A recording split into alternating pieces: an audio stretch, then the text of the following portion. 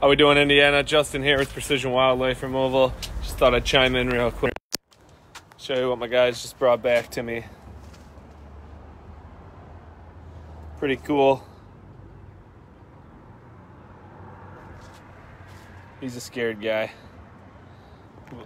They did pretty good. Whoa! Not a happy fella. All right. I was not expecting that. He has been extremely calm thus far.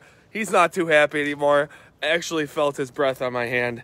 That scared me quite severely. it's okay though. so this is uh, one of six raccoon jobs that we have going on here in Michigan alone. I believe we have another five going on in Indiana.